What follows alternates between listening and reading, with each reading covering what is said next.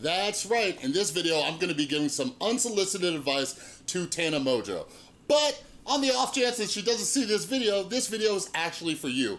Now, what are my qualifications? Not much, except for the fact that I've been in a lot, a lot of f***ed up relationships.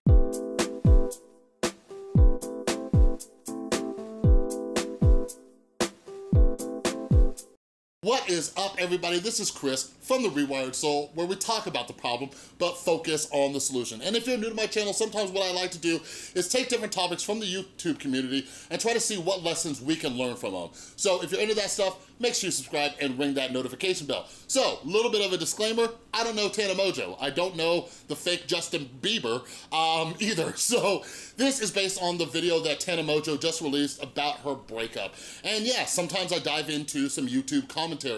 But the goal of these, these videos is I want all of us to take the content we're consuming and see what we can learn. So this video is not only for Tana, if she ever sees this, but for anybody out there who's not, not just somebody who's been cheated on, but anybody who's gone through a breakup, all right? The first thing is, is that we we judge ourselves way too harshly for our emotions after after just about any kind of life-changing event, whether it's a breakup, whether it's been cheated on, whether it's the loss of somebody, and Tana goes through these emotions and she talks about going through those emotions and she talks about how she feels she should be like stronger and harder and everything like that. But something she talks about throughout this video is you know, she she's a person, right? She's a human being. And that's something that we all need to remind ourselves of through any of these difficult situations, maybe just even losing a job. And I know a lot of people struggle with this, especially if you're like the, the head of the household maybe, or maybe you're a single parent, or maybe you're just somebody like Tana Mongeau who has a platform and a lot of people are looking up to you. Like, I know I felt that pressure as well, but what we need to realize is that we are human and we have emotions. And one of the reasons I'm always preaching about meditation and mindfulness is it helps us quit judging our emotions so, so, so much. We just sit with them and we accept them and we let them be. Like through any type of kind of massive event in our lives, there's going to be ups and downs. I could definitely relate to what Tana's talking about with those ups and downs during this whole situation. Just one, just being heartbroken by what happened, being taken off guard and, you know, giving her all to this relationship. And then on the other hand, that voice in her head that's saying, it's gonna be okay, it's going to be fine. It is completely normal for us as humans to have a myriad of emotions during a time like this. The next thing I wanna say is yes, yes, yes, yes, girl. So this is awesome. Tana Mongeau talked about having to be a role model for her younger audience. And I am just so proud of Tana for acknowledging that. She talks about later in her video um, about like never wanting to be a role model, but like accepting that she is one. And yeah, like that is so awesome and just self-aware. And we have to think about that as parents too, right? Like if you're a parent, let's say you're a single parent or maybe you're, you know, in the relationship with the other parent, like what example are you setting for your child, right? Like, when when I was single, um, after my son's mom and I broke up, I was very careful about who I dated because if I got into a crazy, terrible, like verbally abusive or emotionally abusive relationship, what kind of example is that setting for my son? It is showing my son that this is okay. So like, I'm so impressed and proud of Tana Mongeau for acknowledging her audience and, and knowing that part of like what she has to do is because she is an influence on them. And that is, that is very, very grown up of her. And I know I've been critical of Tana in the past, but this is like a huge, huge like accomplishment and just showing some real personal growth in my opinion. But the other thing is too, and something that I'm learning on my journey as a YouTuber is, is that it's also a great form of accountability right? Like just having, you know, having my son, that's a form of accountability, but being on this platform is a form of accountability. So Tana, now before making certain decisions, she's acknowledging that she has to think about what's gonna be public, what's her audience gonna think, how are they going to be influenced, and everything like that. And that is just, mwah, superb. So Tana, if you're watching this, killing it, girl. Another thing I wanna touch on is Tana is so compassionate towards Brad, or uh, AKA fake Justin Bieber. Um, she's very compassionate towards him, and that's, that's huge. That is huge. and she talks about forgiveness. And you guys, I can't express how important forgiveness is after any type of relationship, whether it was, you know, your, your boyfriend or girlfriend or, you know, whoever it was, but like in a broader context, anybody who's hurt you, all right? They say that holding on to that type of resentment is like drinking poison and hoping the other person dies. Like a lot of us think that forgiveness is letting the other person off the hook, but in my experience, forgiveness is letting ourselves off the hook. You see what I mean?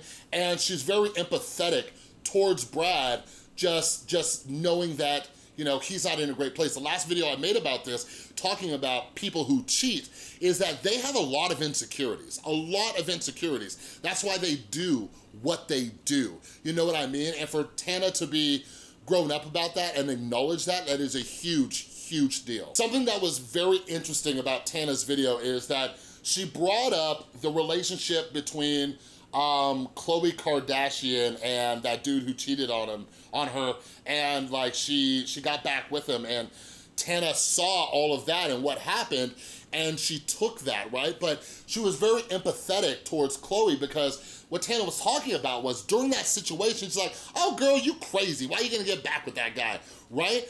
But now that she's been in that situation, she has a whole different perspective, a whole different outlook, a whole different uh, opinion on the situation because now she's going through it.